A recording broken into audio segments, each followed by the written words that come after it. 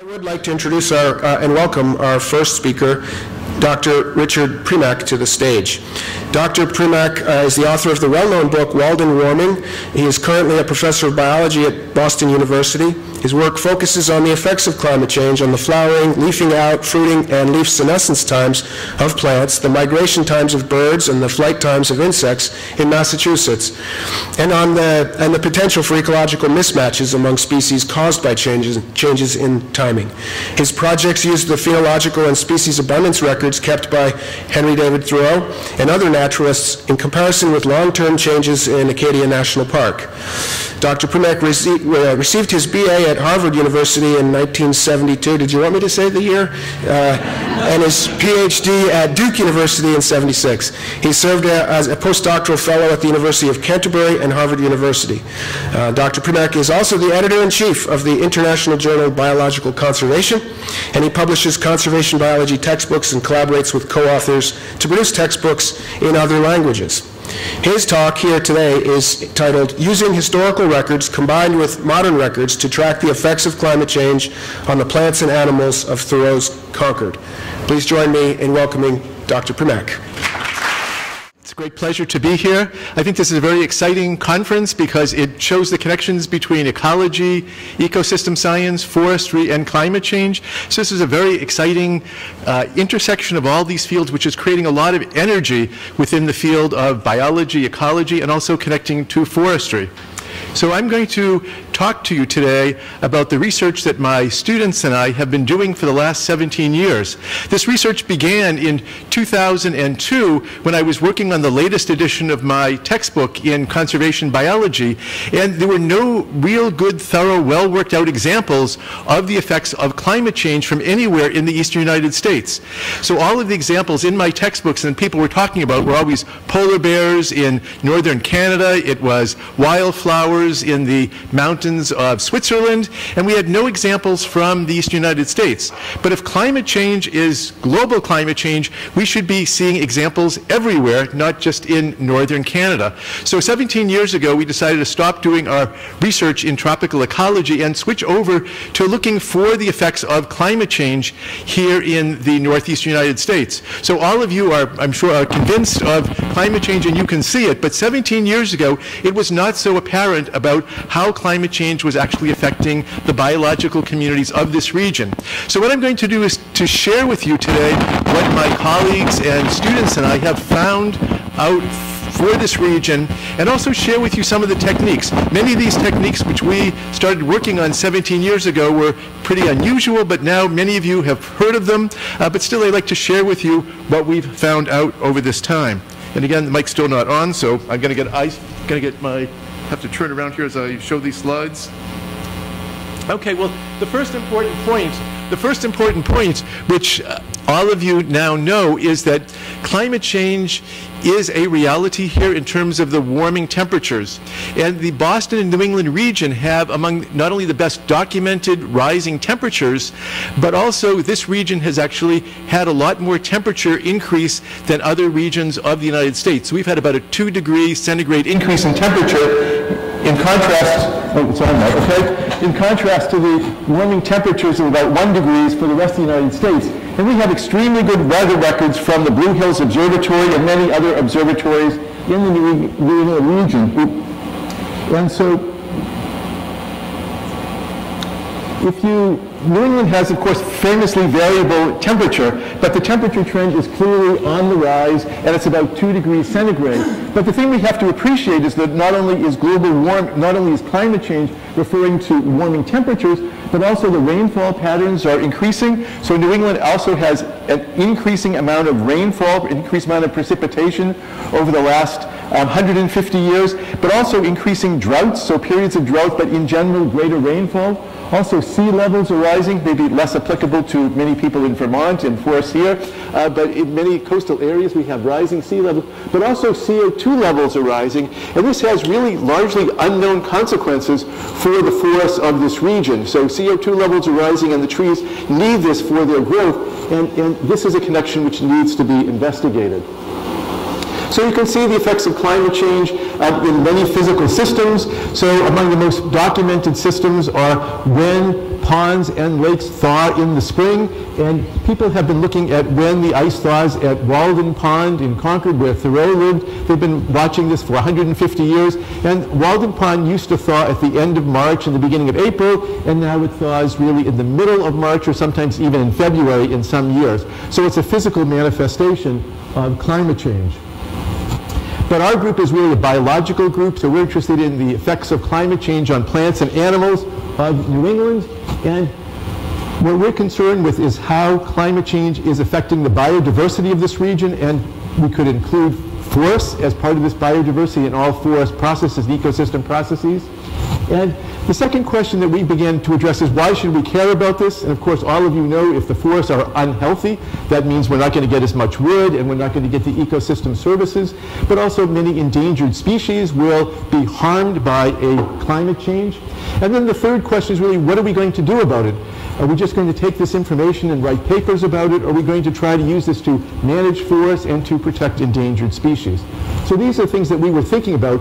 We also, as university uh, uh, researchers also were very concerned with spreading the message of climate change and making the public aware of the realities of climate change. Um, in the Boston area, we're particularly concerned about rising sea level. This is a map of Boston. Uh, this shows where Boston University is, and this is where downtown Boston is, Beacon Hill is. And this is a map showing what will happen to Boston if it gets hit by a flood, by a hurricane at high tide in approximately the year 2050 when the sea levels will have risen by another foot or so. And you can see that most of Boston, including everything between the university and downtown Boston, will be underwater. Large areas of Cambridge and Somerville, the whole airport, and South Boston will all be underwater. And so these are some of the extremely serious consequences of climate change that, of course, given this conference, it's also very serious for the forest. So all the forest products and amenities and ecosystem processes, ecosystem services, will be threatened by climate change. So as biologists, we're concerned with how do we detect the biological effects of climate change. And there are these three key indicators of climate change. One is on the timing of events in the spring, the phenology, and this is probably where we have the most information about the effects of climate change on forest ecosystems. The second one is on the distribution of species. So of course trees don't move around a lot, but birds and butterflies are very sensitive to temperature and their distributions uh, might be changing. The third indicator is on the abundance of species. So whether species become more common, or in the case of trees, whether to what extent trees are increasing or decreasing their growth rates based on climate change. So this is what we began investigating 17 years ago, and the way to most effectively study these is to find old records and then repeat old records in modern times, or even better, find a study where someone started monitoring something a long time ago and continued monitoring it up until the present time. So 17 years ago, we began to look for old records in the New England region, um, and we put an incredible effort into searching for old records, going to universities, libraries, we went to all the small scientific societies we have in the Boston area, asking people if they knew of any information. We just started asking everybody we knew, writing little notes and listservs.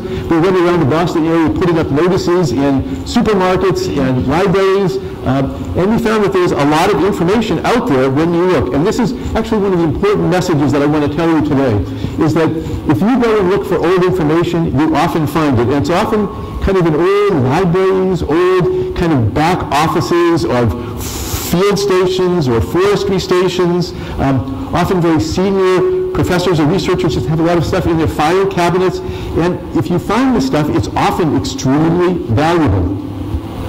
So of all the old records that we found, I mean, we found so many old records of things that happened in the past, but of all the records we found, the best records were the records that were gathered by Henry David Thoreau in the 1850s in Concord. Of course, Henry David Thoreau is very famous as an environmental philosopher and the person who wrote the book Walden, but he kept very detailed records from the 1850s in his unpublished journals these records were well known to literary scholars, but they were not known to biologists. So when we discovered these records in 2003, we were floored, and we immediately knew that these would be extremely valuable for climate change research. Interestingly enough, the literary people knew that they would be valuable for climate change research, and they were just waiting for biologists to get in touch with them. But who knew? I mean, who knew if they had them? So this is an example of what Thoreau's uh, records look like. So this is one of his journals in black writing. Um, and Thoreau actually coined the word realometer. So it's a kind of a combination of reality and reader. So he said, you know, that observations can be a realometer. And now we're using Thoreau's records as a realometer to detect the effects of climate change.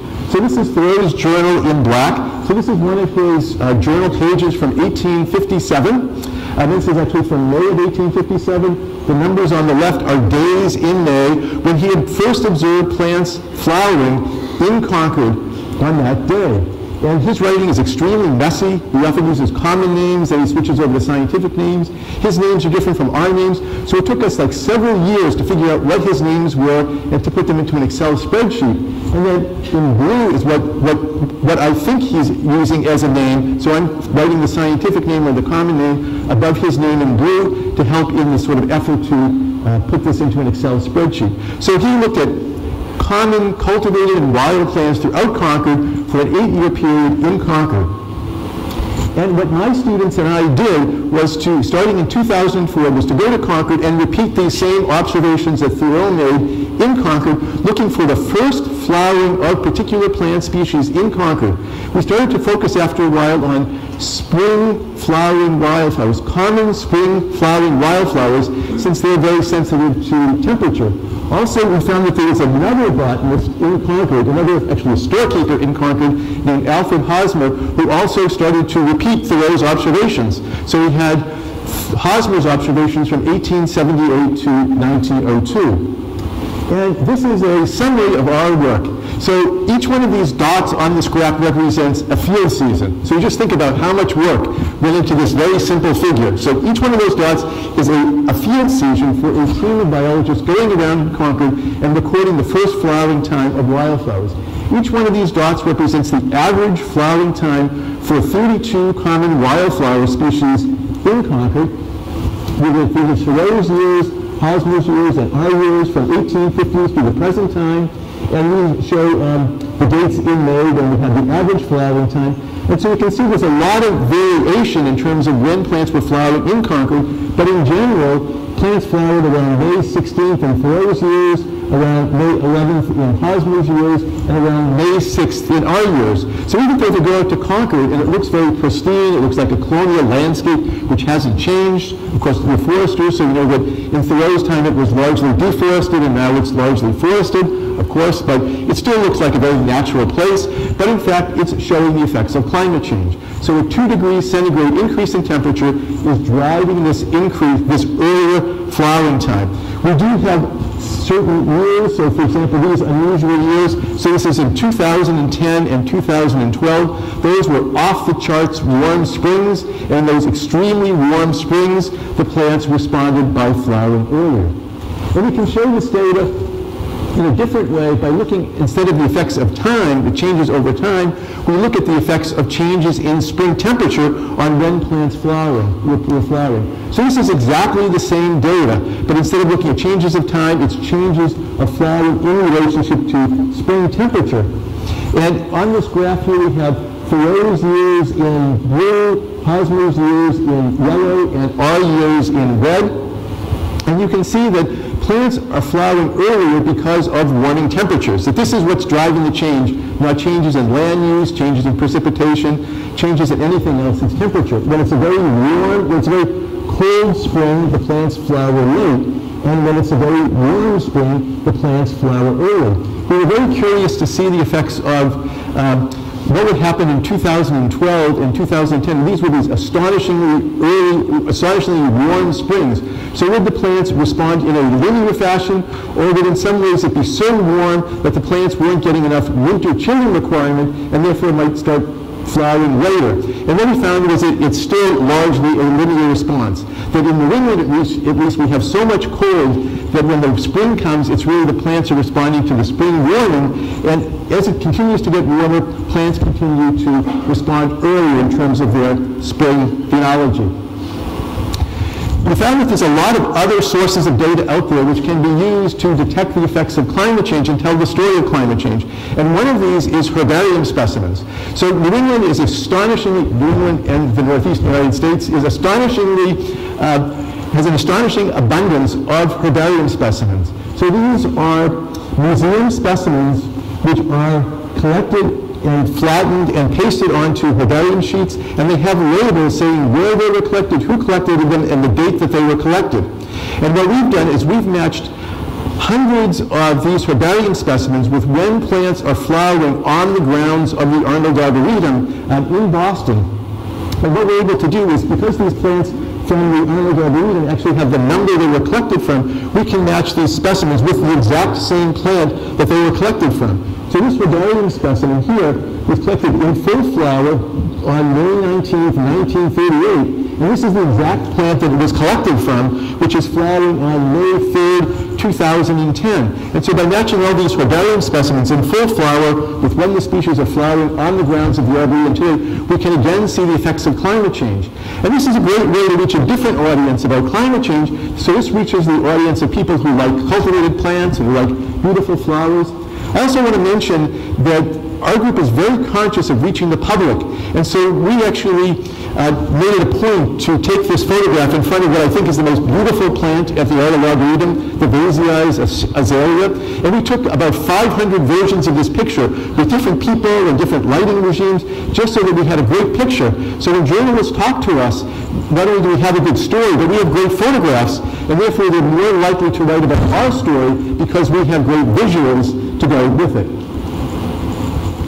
So I'm sure this group, as a group of foresters, is probably thinking, what about trees? And it turns out that there's a lot of information out there about when trees leaf out in the spring. And that also Thoreau recorded when trees leafed out in Concord, and we've repeated those information, those same observations over the last 12 years, and the trees are now leafing out about two weeks earlier now than they did in the past in Concord, and they're actually responding more strongly to climate change than the wildflowers.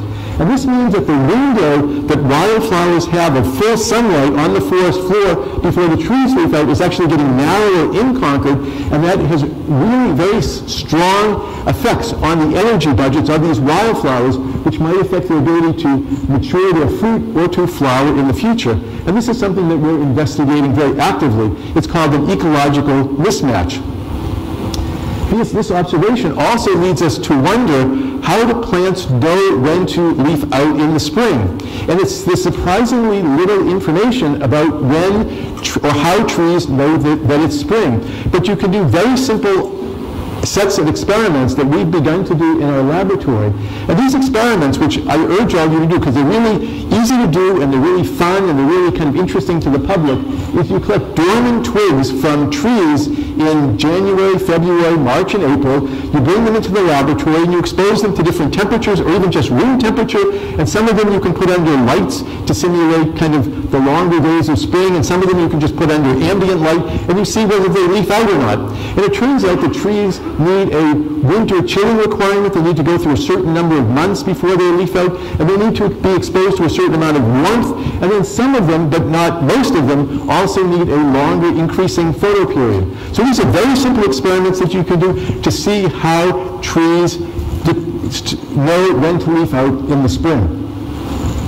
Uh, another source of information that we've discovered are photographs. There often are enormous collections of photographs in the northeastern region, and you can use photographs to see the effects of climate change. And we encountered a woman who had an enormous collection of photographs taken at historically important cemeteries on Memorial Day.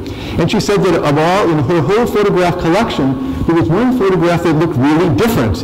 And that's this photograph on the left. So that was taken on May 30th, 1868. And the, the photograph on the right is as close as I was as close as I could get to taking the same view of that place, but and again on May 30th of 2005. And this photograph on the left looks really strange. And why does it look strange? No leaves. There's no leaves. So it turns out that 1868 was a year with no spring. It was an extremely cold year in which there were freezing temperatures in uh, April, May, and June. And so either the trees had not leafed out yet because it was so cold, or they had started to leaf out and, and, the, and the leaves were killed by a late frost. So in 1868, in the, in the 1850s and the 1860s when Thoreau lived, it was a time of cold, sometimes it was the end of the period known as the Little Ice Age, And people were concerned that the temperature just got a little bit colder, that all the crops would fail and people would starve to death or freeze in the wintertime. And now we're at kind of an, another extreme of this view of temperature, where if the temperature gets a little bit warmer, people are concerned again that crops will fail, that there will be rising sea level which will flood cities, and also U.S. foresters realize that if the temperature gets a little bit warmer, it poses a severe threat to the forests of this region. Uh, we've also been looking for bird data, and I can tell you that there is a vast amount of bird data out there. So most of the data sets we encountered, we analyzed very fully, but there's actually so much bird data out there when you go looking for it that we never completely analyzed all the data that was offered to us, and we just analyzed the best bird data. There's an enormous amount of bird data out there, and we use this data to ask if birds are responding to climate change and if they are responding in the same way that plants are. And what we found, analyzing many data sets, is that birds are mostly only either not responding to climate change yet or they're only responding just a little bit. So birds are not as responsive to climate change because they're migrating from Central America or South America, and they also don't know what the temperature is in this region. They also don't migrate when there's a headwind or when it's raining. So they are responding to climate change, but just much less strongly as, this, as the plants are. And you can put all this information by thinking about how groups are responding differently to climate change. And this shows a graph of a lot of our different data sets, looking at how species are responding to a warming temperature. So we have a warming temperature on the x-axis and the dates in the spring. And it shows you that of all these three groups of trees, wildflowers, and birds, that trees by far have the strongest response to climate change. They respond very strongly to warming temperatures. Wildflowers also have a response, but it's not as strong. As I mentioned, this lead, could lead to an ecological mismatch. But what's really striking is that birds are responding very little, only to a small degree or not at all to the effects of warming temperature. And this could result in an ecological mismatch between plants and birds, but it's something that we don't really know in practice whether it's actually going to, whether it is actually occurring. And the connection between birds and plants is insects, because when birds arrive in the spring, they're eating insects, and when insects emerge in the spring, they're feeding on plants. And so this is a very active area of research right now, and, and as the results that have come out so far suggest that insects are responding very strongly to climate change in the same way that plants are. But over the last one year, there's been this amazing series of articles published in the literature which demonstrate that insects are under severe decline now as a result of human activity. And so throughout the world, wherever people have been monitoring insects, they see that insect groups have declined both in terms of species diversity and biomass. And the consequences to, of this to birds and forest health is, is still unclear. I should mention that this is not for invasive insects, which are obviously increasing. This is for native insects. There's a study which is about to come out, or maybe just came out a few weeks ago, just describing the incredible loss of, of insects at Hubbard Brook Experimental Forest uh, in New Hampshire as one example. Also, there's been a tremendous loss of wildflower species from the forests of the northeastern region. Um, this was demonstrated in a paper published just a few months ago uh, by Caitlin McDonough MacKenzie. She surveyed all the places in the northeastern United States where there was a, an historical flora which was then resurveyed, and she has found that there is a tremendous loss of wildflower species, even in places which are well protected in this region. The place that I know best is Concord, Massachusetts, and Concord is very unusual. There have been five floras of Concord, and as far as we can tell, there's been a loss of about 27% of the wildflower species which are present in Concord. This is very surprising because Concord is a very well-protected landscape. One-third of it is strictly protected, and two-thirds of it is still in a natural condition. And yet, there has been this loss of about 27% of the species, and about another 35% of the species in Concord are declining. There's a lot of reasons for this decline, many of which I'm sure you know already, like habitat loss, habitat fragmentation, um, air pollution, nitrogen deposition, um, invasive species, deer, but also climate change is one of the causes of this decline. And we've seen this both in Concord and other places in Massachusetts. And we know this because the species which have been lost have been disproportionately the cold-loving northern species and also species which are not responding as much to climate change in terms of their phenology. So we know that climate change is already affecting the wildflower diversity of these forests and certain groups are particularly susceptible. So, for example, orchids are disproportionately being lost. So in Concord, there were originally 21 species of orchids in Concord, and all the field work we've done in Concord, we've only seen seven of them. And this is a universal trend that orchids and certain other groups like lilies are particularly susceptible to all of these habitat factors. And also I should mention that we, we now have a, a large body of evidence showing that Bird abundance is changing, so birds are increasing in abundance relating to a warmer climate, and also insects are changing their distribution. So in general, even though insects are declining, we see a lot of southern species or butterflies arriving now in the northeastern region, which historically were not here.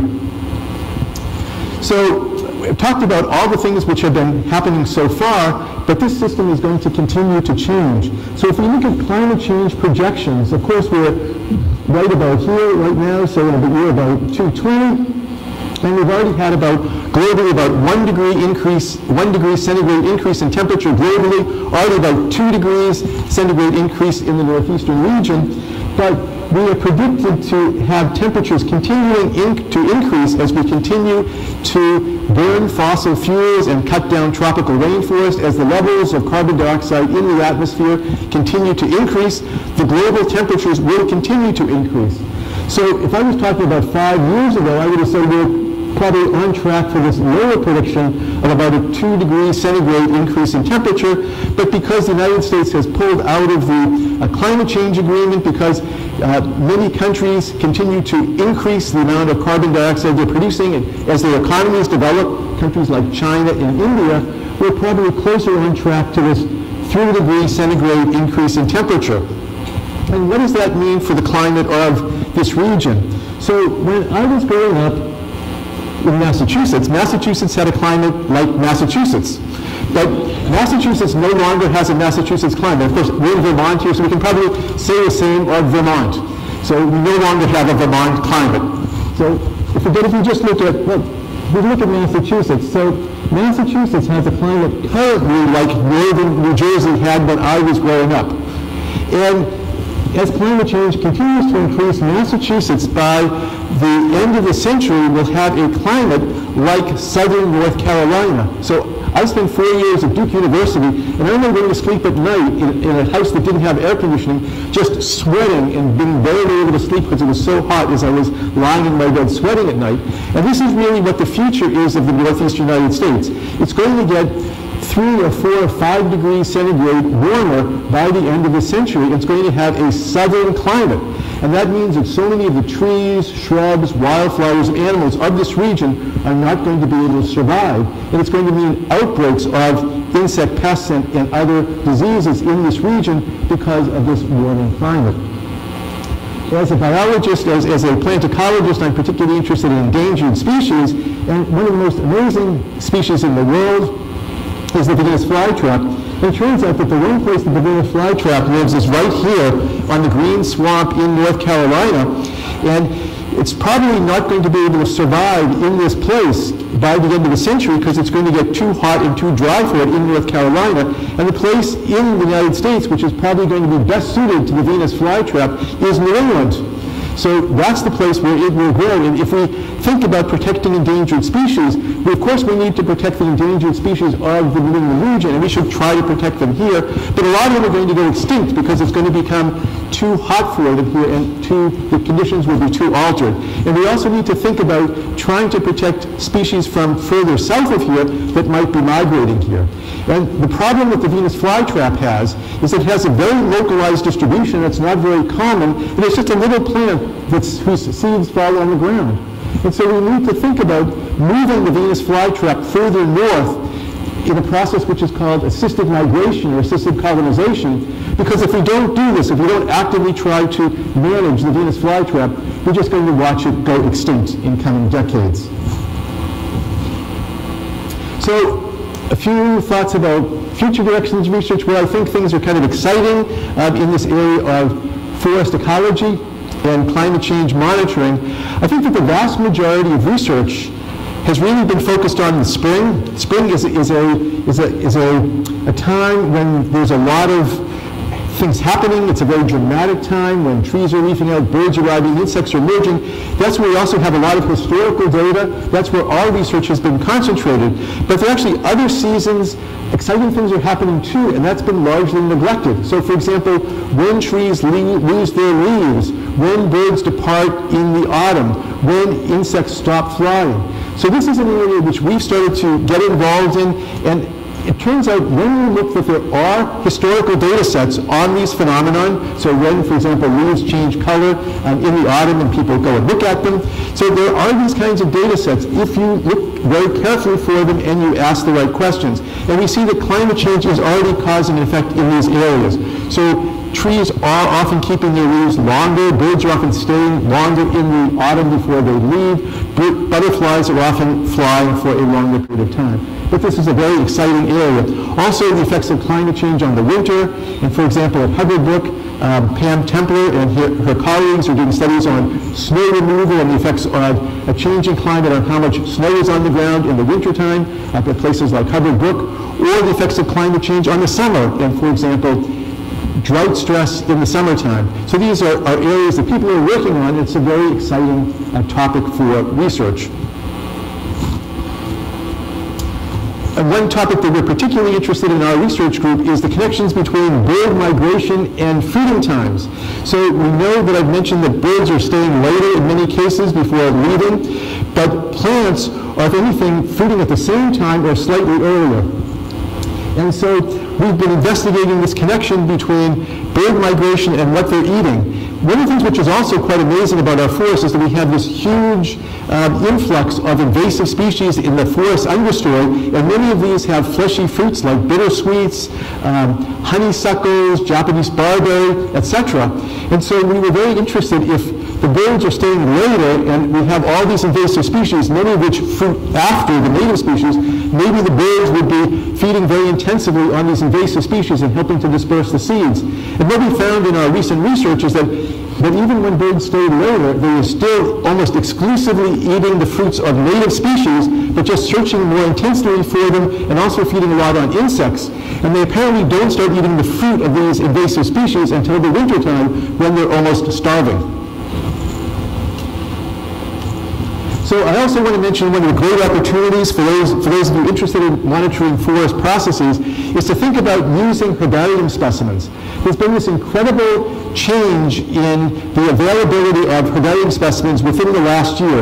Up until about a year ago, if you wanted to look at herbarium specimens, to look at phenomenon using herbarium specimens, you had to get in your car and drive all around the whole region. And we did that ourselves up until about a year ago. We often visited herbaria from the New England region. But now, all these herbarium specimens are available online. And so you can look at them on your laptop in your office.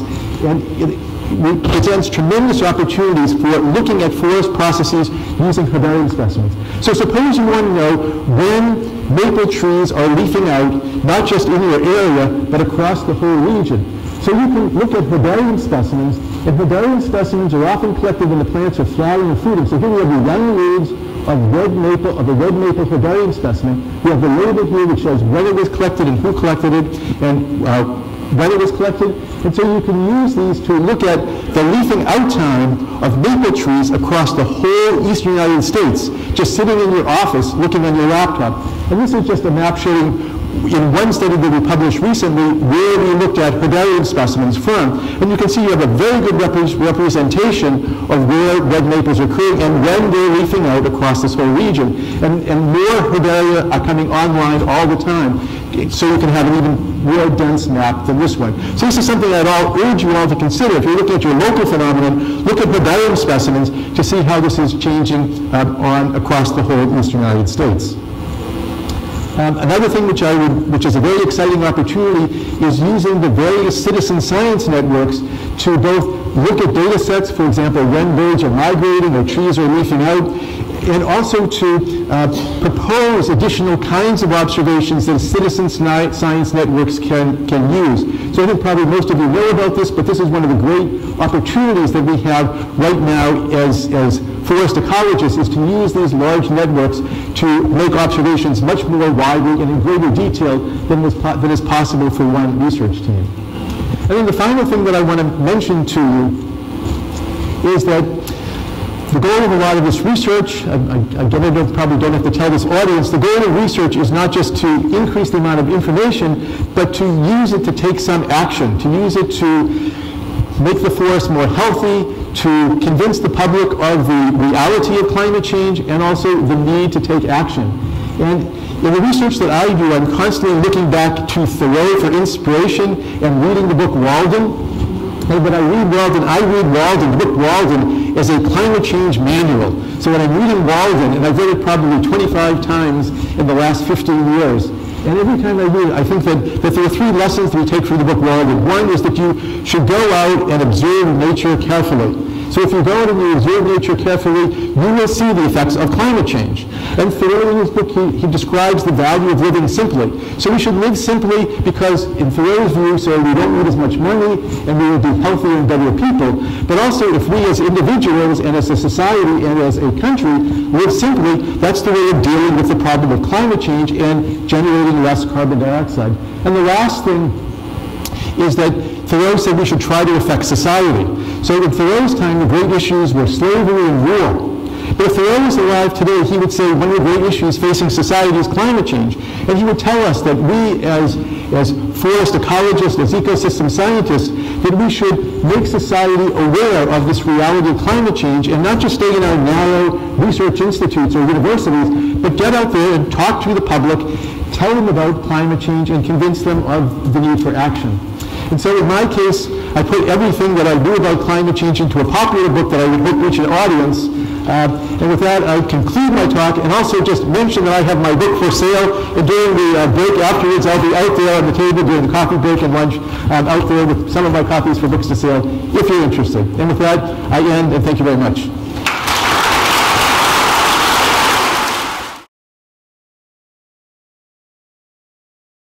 Questions?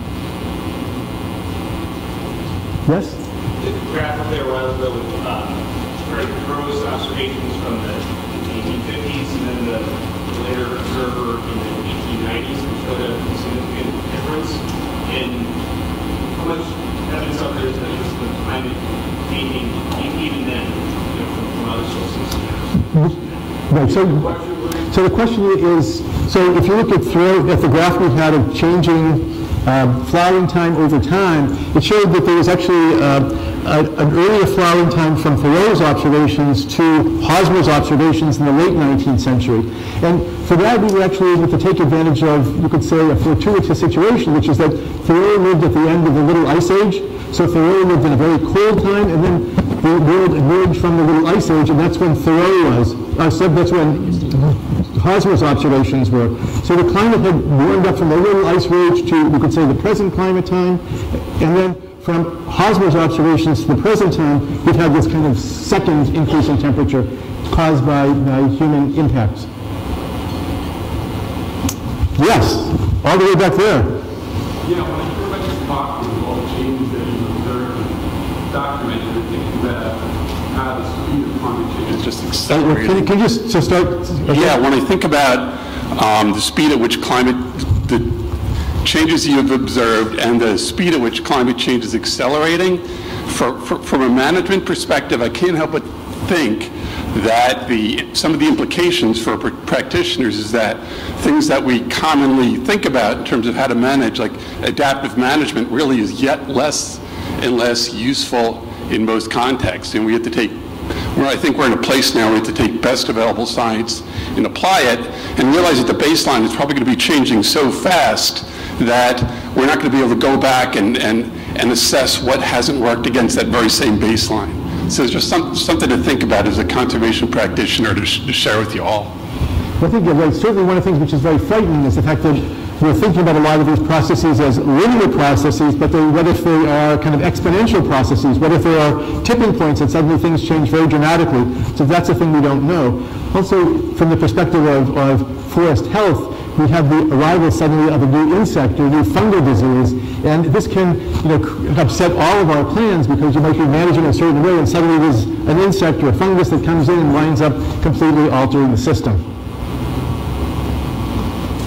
Anything else? Yes, so back there. You take a microphone. Thank you.